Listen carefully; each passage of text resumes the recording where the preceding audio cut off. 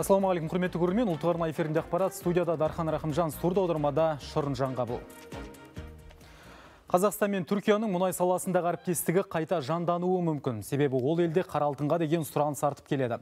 Еліміздің энергетика министрі Болат Ақшолақов Түркиядағы әріптесімен кездескенде бірлесіп жұмыс істеу жолдары талқыланған. Қазір Түркия Қазақстан мұнайын Каспий құбыры консорциумы Транснефть және теміржол арқылы алып отыр.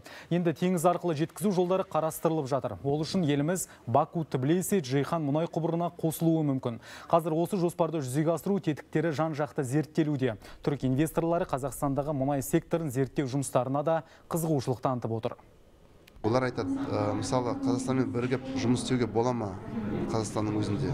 Мұнайды тауып мұнайды өндіріп одан түркияға алып кетуге мен айттым әрине мұндай мүмкіншілік бар. Біз әр инвестормен жұмыс істейміз. Енді осындай сізден ә, қызығушылық болатын болса біздер оны талқылауға ашықпыз дайынбыз кезінде біздер тарихта бірлесіп ондай жұмысты атқардық кезінде. Бірақ енді екі мың он үшінші жылдан бері оның жұмыс тоқтатылды Биыл халыққа көмір қолжетімді бағамен сатылады. Бұл туралы үкімет отырысында индустрия және инфрақұрылымдық даму вице-министрі Марат Қарабаев айтты. Көмір қымбат болмас үшін үш бағытта жұмыс жүргізілуде. Біріншіден кірме темір жолдарын ұсыну қызметінің тарифі 92 пайызға төмендеді және осымен айналысатын мекеме алдағы уақытта толықтай мемлекетке қайтарылады. Бұл экономиканы демонополизациялау аясында атқарылған шаруа. Көмірдің бағасын шарықтатып жіберген алып сатарлармен де күрес күшейген. Осы салаға жауапты министрлік карьерден шыққан көмір бағасының қалай өзгеретінін қатаң бақылауда ұстаймыз деп отыр. Сауда биржасы арқылы ұсынылатын көмір көлемі де көбейеді. Былтыр біз пилотты режимде мына халыққа ұсынылатын көмірдің 10 пайыз бөлігін тікелей өңірлік операторларға делдалдарсыз мына неде сауда саттық биржасында жасаған сатқан болатынбыз сол өзінің оң тәжірибесін көрсетті және биыл сол оң тәжірибені ескере отырып сол көлемді халыққа ұсынылатын көмірдің көлемін он пайыздан елу пайызға дейін ұлғайтып отырмыз. Яғни бұл биржада сатылады арасында делдалдар болмайды. Талдықорғанда әр жылдары берілген мыңнан астам пәтердің ешбір құжаты жоқ. Бірақ ол жерде халық тұрып жатыр. 330 пәтер ешбір санатта жоқ жеке тұлғаларға және қалада қызмет етіп жатқан мемлекеттік қызметкерлерге беріліп келген. 700-ге жуық баспана әлеуметтік осал топтарға таратылған. Олардың 300-ге жуығы коттеджді қалашықта болса, 386 пәтер көп қабатты үйлерде орналасқан. Қазіргі таңда пәтер иелерін нақтылау және берілу заңдылығы анықталып жатыр. 14 пәтер мемлекет меншігіне қайтарылған. Жалпы облыс орталығында қазірдің өзінде 16 мыңнан астам адам үй кезегінде тұр. Алды 30 жыл, одан кейінгі 10 жылға шейін 10 жыл бұрын кезекте тұрған адамдар пәтер алған. Енді бүгінде заңдастырайын десе, кезекте тұрған қағаздыңызды әкеңізді деп айтады. Ал ЖКХ-ға барған жағдайда ол қағаздардың түбірдегін жоғалтып жіберген. Журналдар жоқ, Құжаты жоқ пәтерлерді анықтау жұмыстарына қоғам белсенділері, заңгерлер мен еріктілер тартылып отыр. Ал кезекке тұру тәртібі электрондық портал, арқылы жүзеге асырыла бастады. Айта кетейік, порталға да инвентаризация жасалып, заңсыз тіркелген 2000-дай азамат кезектен алынды. Сондай-ақ қалайда тек қана жеке тұрғын үй салу үшін жер телімі кезегінде 30 мыңнан астам азамат тұр. Жемқорлық жағдайлары болып бірнеше көрдіңіздер, бұған дейін соттар болды, әлі де жүріп жатыр кейбір жағдайлар. Сол жерде кезектерін ауыстырып басқа адамға пәтерді беріп отырған. Бізге ең керегі мына жердегі әділдігін анықтау яғни тұруға лайықты адам ол пәтерді алу керек. Ал лайықты атын жамылған адам ол пәтер не үшін керек. Мәселе сода болып тұр осы қазір анықтау керек деп отырмын Ел аумағынан қара және түсті металл қалдықтарын автокөлікпен шығаруға уақытша тыйым салынды. Жарты жылдық шектеу қайта өңдеуші кәсіпорындар үшін шикізат тапшылығын жоюға ықпал етеді. Бұл туралы индустрия және инфрақұрылымдық даму министрлігінің өкілдері мәлімдеді. Уақытша шектеуге қарамастан металл сындықтарын шекарадан темір жолмен тасымалдауға болады. Ал түрлі түсті металл үшін толық шектеу енгізілді. Қазір елімізде металл қалдықтарын шикізат ретінде пайдаланатын 20-дан астам кәсіпорын бар. Өндіріс орындарында 30 жеті мыңнан астам адам еңбек етеді. Уақытша шектеу арқылы отандық кәсіпорындардың жүктемесін 70-80 пайызға жеткізу көзделіп отыр.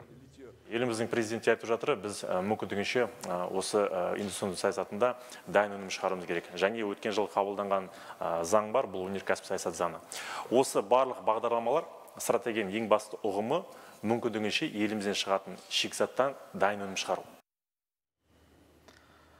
Финляндия үкіметі кешікпей НАТО-ға мүше болуға ниетті екенін ресми түрде жариялады. Бұл туралы ел президенті Саули Ниньесте мен премьер-министр Санна Марин мәлімдеме жасады. Ал Рейтер агенттігінің хабарлауынша Финляндия солтүстік Атлантикалық альянсқа мүшелік туралы өтінішті парламенттен рұқсат алып, келесі аптада Брюссельге жіберуі мүмкін. Сәрсен бүгіні Британ премьер-министрі Борис Джонсон Швеция мен Финляндияға қауіпсіздік кепілдігін беретінін мәлімдеді. Финляндияның Ресеймен арадағы шекарасының ұзындығы 1340 40 шақырым Украинада әскери қақтығыс басталғаннан кейін фин қоғамында НАТОға өтуді қолдайтындар көбейіп келеді. Англия банкі пайыздық мөлшерлемені көтерді. Инфляция шарықтап бара жатқандықтан Ұлыбританияның бас қаржы институты амалсыз осындай қадамға барды. Бұл бастама нәтиже бере ме? Лондондағы тілшіміз Марина Бекенованың материалынан. Украинадағы жағдайға байланысты мұнай мен газдың бағасы өскенін ескерсек, бұл бастама мардымды нәтиже бермейді дейді экономисттер. Наурыз айында инфляция деңгейі 7 пайызға жетті, ал жыл соңына қарай ол 10 пайызға өседі деп ескертеді қаржыгерлер. Тіпті электр энергиясы қазан айында 40 пайызға қымбаттауы мүмкін. Бұл соңғы 40 жылда болмаған қымбатшылық инфляция мен рецессияға төтеп беру үшін пайыздық мөлшерлемені 0,75-тен бір пайызға дейін көтеруге тура келді. Ковид пен локдаунның салдарынан тауар тасымалдаудағы кедергілер және украинадағы әскери қақтығыстар энергияның қымбаттауына соқтырды. Банк мөлшерлемесі соңғы уақытта осымен төртінші рет көтеріліп отыр. Және 2009 жылдың ақпан айынан бері бұрын соңды болмаған рекордтық көрсеткішке жетті. Нәтижесінде ұлыбританияның ұлттық валютасы стерлинг фунты ақш долларына қарағанда 3 центке евроға шаққанда 1 центке арзандады. Бүгінде халық үнемдеуге көшкен. Ең қажет деген заттарды сатып алудың өзі мұңға айналған. Англия банкі келесі жылы ел экономикасы дағдарысты еңсере алмайтынын ескертеді.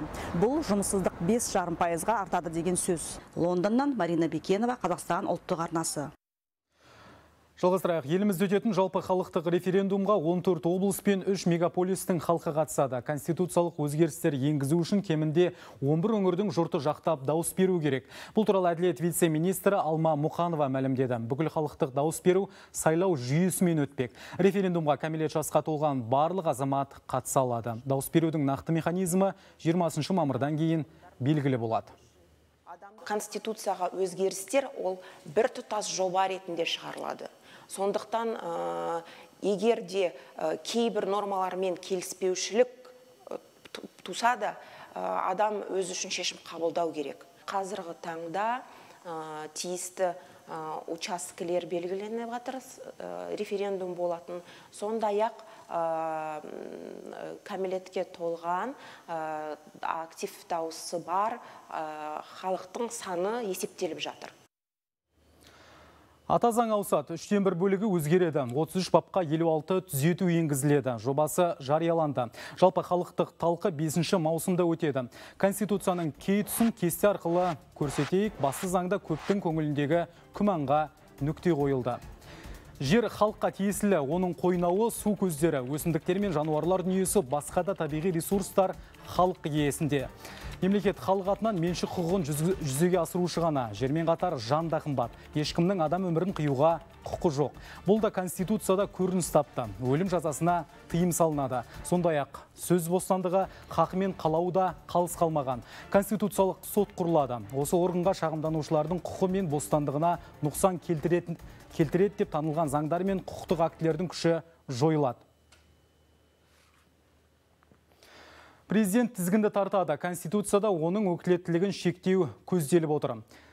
Мемлекет басшысы саяси партияда болмауы тиіс. Жақын туыстары мемлекеттік саяси және ұлттық компаниялар басшысы лауазымын атқаруға хақысы жоқ. Облыс және республикалық маңыздағы қалалар әкімдерін тікелей тағайындай алмайды. Мәслихатқа кемінде екі үміткер ұсынып, депутаттардың келісімімен ғана бекітіледі. Сондай-ақ Конституциялық сот, ұлттық банк, жоғарғы сот кеңесі мен ұлттық қауіпсіздік комитетінің төрағалары мен бас прокурорды тікелей бекітпейді сенаттың келісімі керек. Айтпақшы осы аталған орган қызметкерлері саяси ұйымдарға мүшелікке өтпейді.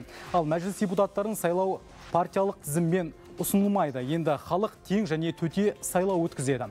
Сондай ақ заң қабылдау керісінше сипатқа ауысты. Яғни сенат мақұлдап мәжіліс қабылдайды. Сөйтіп президенттің қол қоюына жіберіледі. Егер ол келіспесе кері қайтарылады. Бірақ депутаттардың үштен екі бөлігі президент шешімін қабылдамаса президент сонымен келіседі.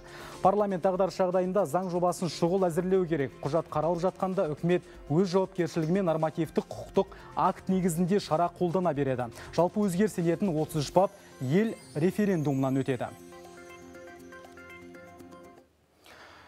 Елімізде 20 мың жас самғау бағдарламасының игілігін көрді. Қарағанды облысының шалғай аймақтарында да қазір бұл жоба іс сәтті іске асуда. Мәселен, өңірлерде 18 үйім болса, солардың арасынан алғаш болып Қарқаралы ауданындағы жастар ресурстық орталығында самғау фронт офис ашылған.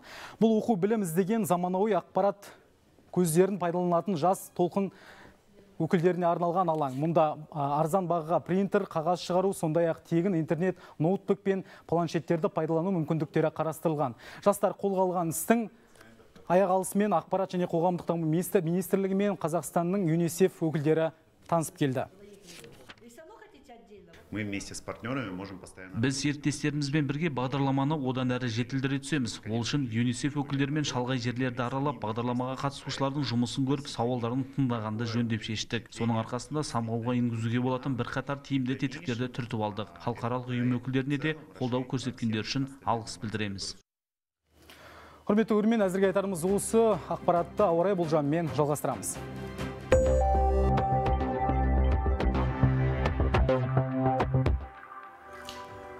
Армысыздар студияда кенжин арай 13 мамыр жұмаға арналған ауа райы болжамымен таныс болыңыздар. Солтүстікте күн құбылмалы мәселен петропавлда синоптиктердің болжамы бойынша күн күркіреп жаңбыр жауады күндіз 24 түнде 8 градус жылы.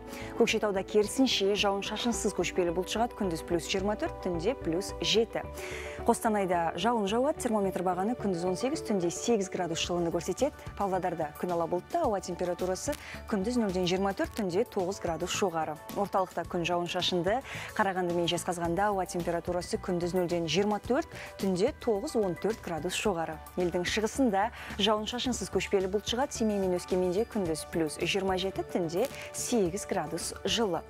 Батыстың басым бөлігінде күн бұлтты оралда күн күркіреп жаңбыр жауы мүмкін күндіз плюс 17 түнде плюс 5 атырауда күндіз 19 түнде 12 градус жылы. Ақтөбеде жаңбыр жауады термометр бағаны күндіз 14 түнде 6 градус жылыны көрсетеді. Ақтауда күн ала бұлтты күндіз плюс 16 түнде 7 градус жылы. Күнгеге келетін болсақ талдықорғанда көшпелі бұлт шығады күндіз сынап бағанасы 27 түнде 8 градус жылыны көрсетеді. Қызылорда мен түркістанда күн күркіреп жаңбыр жауы мүмкін түнде плюс 14 күндіз қызылордада 25 түркістанда 24 градус жылы. Таразда термометр бағаны күндіз 25 түнде 12 градус жылыны көрсетеді. Мегаполистерде найзағай ойнап жаңбыр жауы ықтимал шымкентте күндіз плюс 24 түнде плюс 12 алматыда күндіз 25 түнде 14 градус жылы. Нұр сұлтанда ауа температурасы күндіз 0-ден 23 түнде 7 градус жоғары. Назар аударып тыңдағандарыңызға рахмет. Ұлттық арна қосылу болсын.